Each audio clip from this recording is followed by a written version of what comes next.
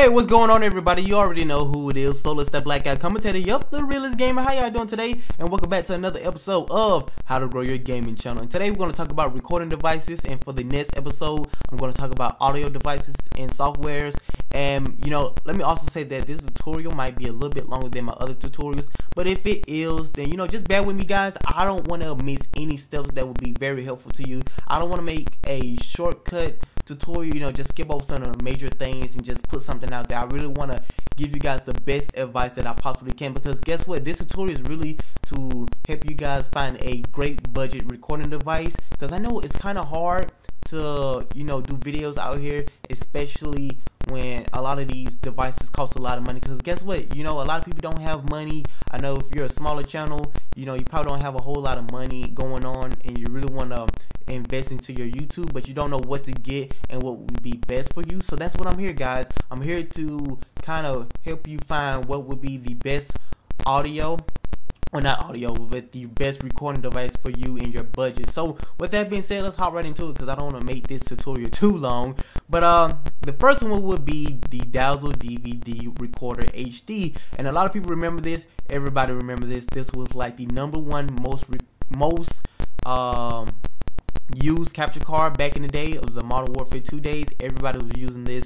Optic, who was Zergriz, Optic Predator, you know, uh, LEA, I believe, and also TmarTn. Almost everybody was using this. This was like the number one recording device back in the day because the gaming community wasn't as big as it is now. It wasn't as evolved. A lot of people wasn't really into it, and you know, this was just like one of those devices out there that a lot of people didn't know about and you know you can record your gameplay and stuff like that so you know a lot of people got this and then later on that's when the HD PVR came out then that's when it really got into it. And then later on these other companies came out with the Roxio and the Elgato. You know how it went.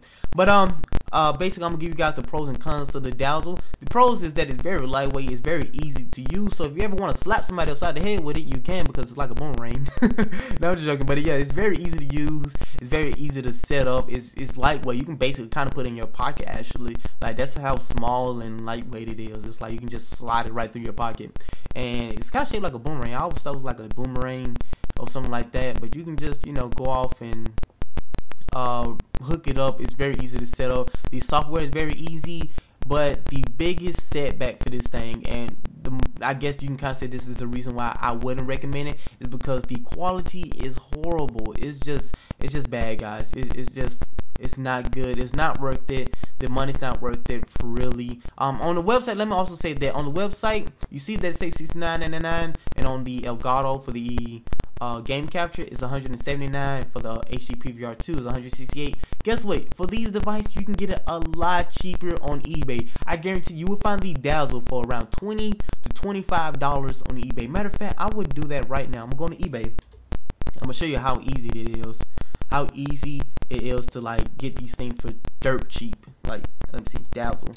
Okay so you're gonna type in Dazzle DVC 100 Okay, so you got like 50 right there. Maybe give someone to say it's buy now. Alright, see like right here, somebody got for 25 55 $19. You see what I'm saying? And right here on the website it's $69.99. You can get these things for a lot cheaper. And for the Elgato, for instance, I'm go go type in Elgato. Elgato Game Capture HD. It was like how much? You can get it right here. 148 right here, 179 like I said before. Um let's go to buy now. We're on buy now. Let's even go down because I actually got mine for a little bit cheaper. You can get it for 144. Uh, here go one for 125, 170. Nope, that's not what we're looking for. But you kind of get what I'm saying. Like you can get it for a, lot, a little bit cheaper on eBay than you would from the website. And also, let's try the HD PVR. What would that be? HD PVR. Oh, there we go. Alright, so right now you got for like, oh, nope, that's not it. Oh, I guess it's it. so right here got like for 130 and 164. Uh, you, you get basically get what I'm saying though. You can get for a lot cheaper on eBay. You just gotta go look around and stuff like that. But with that being said, would I recommend the Dazzle? No, I would not. We have four minutes. Okay, that's pretty good. We're four minutes, but I would not recommend the Dazzle. It's just not worth it. You, you, I, I, mean, if you have to get it, guys, then just you know, go ahead, get it if you want to start off. But let me just say that if you want a good audience if you if you really want to impress your audience you gotta put out some good quality content. That's what people want. They don't want to have quality content. So that being said, we're gonna go on to the next one. And the Dazzle, the reason why I put that in because it's just something that I know would kind of start off a lot of other YouTubers. And you know, you can it's, it's just I guess you can kind of say it's like a basic basic starter. So you know, go for it if that's the only thing you can get as of now. Then later on, you can try to get the um, these other recording devices. So for the next one, we got both of the Roxio game capture. We've got the standard, and then we have the HD Pro. As you can see, the standard is $49.99, about $30 cheaper than the Dazzle over here. But you know, if you go on eBay, you can get for like 20. but with that being said, you can play HD on your TV, capturing 480p. Uh, has smaller file size for faster sharing. That's really good if you have a low-end computer. Video editing software made for gamers, which seems that it'll be really good for you gamers. You can probably add some color correction. You know, for for like some of you gamers that don't know too much about editing or anything like that, this would be very helpful. It has USB, RCA, and component cables included. And what that mean by that is like right here, the component cables got the green, blue, and red. You know, the standard old component cables. And it supports the Xbox 360, PS3, and PC games. So that means that it doesn't support the Xbox One and the PS4 like the S, like the Capture Card HD Pro over here. So if you have the new generation of consoles, then you will have to get the Pro. I don't think that the standard will work for you or I, I don't even think the Dazzle will work for you either. So if you have the new generation of consoles, then you either have to get the Hauppauge. Well, no, you won't even be able to get the Hauppauge, if I'm sure, because I don't think the Hauppauge has HDMI import, and for the new consoles, you have to have HDMI. So you gotta either get the Roxio Game Capture HD Pro or the Elgato. But if you have the normal Xbox 360, then you can get either one. But I would definitely recommend the HD Pro because let's look at the features for this. It plays in it Oops, sorry, I had a little burp. But it plays and capture in 1080p, 30 frames per second, 60 frames per second. That's a lot better. That's actually the highest standard settings for YouTube. That's what people want to see. We want to see that 1080p, that 720 content. We don't want to see that 480p. But you know, hey, if you can't get this, you know, go ahead. You might get away with it. But really, this is what we're looking for. This is what your viewers want to see. So if you want to put out the best content, then go for it. Uh, let's see what else. We got live streaming directly to Twitch. That means straight from the program. You don't need to use XSplit. You don't need to use OBS. You don't need to use none of those third-party programs. You can live stream straight from the program. And that's really good if you have a low-end computer because you know what? Some of these third-party um programs, I know especially with XSplit, it takes up a lot of processing power. And if you have a low processor, if you don't have a good computer, that can be very bad for your computer. Uh, basically, the stream will be laggy and stuff like that. And with the game capture, with the software for these devices, they don't use up a whole lot of things. Because I know with the Elgato, um, before I built my computer, I couldn't even really live stream with XSplit. But you know, uh, when I was using the software, the Elgato software, because you can live stream with the Elgato straight from the capture card itself as well. You basically, I was streaming some good quality. I didn't have any lag in at all. I didn't have any problems. But as soon as I put it in XSplit, I was having like lags up the butt. Like it was just crazy. So I would definitely recommend the HD Pro. Uh, you got some video editing software and new effects, so that's a lot better. You know, if you're uh, you know, if you want to add some little bit more effects to your gameplays and stuff like that. But you know, everybody gonna take their thing to Sony Vegas because that's that's the original editing program, or even Adobe After Effects. But you know, everybody knows Sony Vegas. That's what we use to do our video editing. Uh, what else? We got HDMI inputs and outputs. That's really good. HDMI is much better than component cables. That's my. That, I mean, that's that's just basic good statistics. Anybody else can probably say different, but you know, for me, seeing the reviews and like me basing off of what my experience was, HDMI is much better than components. You know, with the HD PVR, you actually have component cables. You don't have a HDMI, and it still put out some good quality content. But I don't know why. But the HDMI, it makes everything run a lot smoother. So definitely get the HDMI. It's a lot better. And plus, you don't have to worry about you know going through a whole lot of plugs. You don't have to you don't have to worry about matching up a green, a blue, and a red. Especially if you're in the dark, you can just plug the HDMI right in this port. You don't have to worry about trying to put the audio cables in right. You know what I mean? It's just a lot simpler to use HDMI. So going on to the next one is the Hauppauge, and the one thing about the Hauppauge I can't say is that it gets the job done. That's that thing can get the job done. It will get you what you need. It put out some good quality content. So I would definitely recommend this as well. But some of the drawbacks from it is that it doesn't have any live streaming capability. From what I know, I haven't tried the HD PVR 2. I don't know what the game, I don't know what the software is like that. But from what I heard, I don't think it has any live streaming options from it and it doesn't have any live commentary options. That's another thing that the Roxio, I don't know if it have a live commentary option, and I think that's why the Elgato beats over all of these capture cards. Because guess what? It has it has a live it has a live commentary option and also has a live streaming option. It goes for YouTube and Twitch. And with the Roxio HD Pro, it only has it for Twitch. So that's even better. That's why a lot of people go with the Elgato because it has better features. So I would definitely recommend the Elgato, but we're gonna get to that soon enough.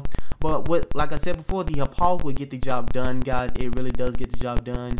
But you know, um, if you want to really ask me, I would probably go with the Elgato or the HD Pro. The only reason why I say not the Hauppauge is that if you want to get into like live commentaries and stuff like that, then you got to do it old school, baby. You got to do it old school. And what and what I mean by that, you better take out that second program, that audio um software. You know what I mean, like Audacity or something, or Adobe Audition, and then you got to have your recording software up, and then you basically like got to sync it up in Sony Vegas. You get what I'm saying? You got to go old school. So if unless you don't want to go old school and you new school, then I would suggest you get this Elgato because with the Elgato, it has a built-in live comment, uh, live commentary option, so that way you don't have to sync it up in Sony Vegas. so uh, yeah, I really do like the Elgato, and uh, everybody get into that right now. Let's see where we at. We at 11 minutes. Okay, I'm trying to make this pretty quick, guys. So with the highlights, you, you can record your Xbox or PlayStation. You can also they add a new update where it now supports PS4 and I also think the Xbox One. Yeah, it does support the Xbox One. It has a built-in live streaming for YouTube and Twitch, which is good because you can't live stream to, to YouTube with the HD Pro, but you can live stream it to Twitch. And let's see, you got 480, you got full HD 1080p capture, just like the HD Pro. And what else? You have flashback, something that Roxio doesn't have. Now this is really good. I actually like this thing, but at the same time it can be bad if you have a low end computer. And basically what this does is it kind of like it kind of what it says flashback. Like it basically, um, if you didn't record, say for instance you got a trick shot, okay, but you forgot to record, and that can be the worst that You hit a trick shot and you forgot to record, and you think whole your all hope is lost basically. Well, guess what? You can go back in time and you can go back to that part where you hit that trick shot. And this is I actually just enabled it for the tutorial purpose, to try to get everything ready. But basically, this is uh, flashback, and what you see right here is you can just like kind of go back in time. As you can see, like you can drag it back. Well, since I don't have my game on, I can't do anything. It would have been better if I turned my game on and try to show you an example. But you just, you know, uh, right now just savings you know it's not recording and I'm playing right now. And then I get like a, a three feed and then I'm not recording. Well all you gotta do is go back in time switch that back or whatever and bam you can go back to that time and right before you get to that feed you just hit the record button and then you stop it. And that's basically what flashback is. Now the bad thing about it is that it takes up a lot of memory. So if you have your Elgato on and you have the enable flashback on, it's basically constantly taking memory non-stop. Even if you're not recording, it's, it's basically like just sitting there recording but not recording. It's just taking up memory. And if you have like 250, 250 gigabytes of hard drive, then that is bad. It will make your computer a lot slower. So I would only recommend this if you have a high-end computer and you have like one terabyte or two terabytes of hard drive memory then yes, you can definitely have that enabled. But if you have a low end computer, I wouldn't suggest that. I would just say, just hey, make sure you have it recording. Better look at it and then you know do your thing. but with that being said, that's about it, guys. Hopefully, uh, this tutorial wasn't too long. Let's see where we at. We had 30 minutes. So yeah, um, hopefully this this tutorial kind of help you guys get a little bit of um a new view of how things are, and hopefully, you know, I kind of you know help you pick out what might be better for you. Also, another thing I'm going to do before I end this is that for each recording device, that's mean for the Dazzle, the Elgato, the Hauppauge, the both of the Roxio, I'm gonna put a video test for each device so you can even look at the quality of the devices and what they put out, and that can even that can help you better decide if you want that device or not. So I hope that really helps. But you know, um, with that being said, hopefully you enjoyed the tutorial. If you did, then please hit that like button, subscribe, share this video to your friend if they want to learn how to grow their gaming channel. And for the next episode, I'm going to talk about audio hardware and devices, and hopefully I can find a great budget audio device for you, and you will be getting the same type of you know quality that you hear these bigger YouTubers have. So with that being said, thank you guys so much. I'm that black guy commentator, and I'm out. Peace.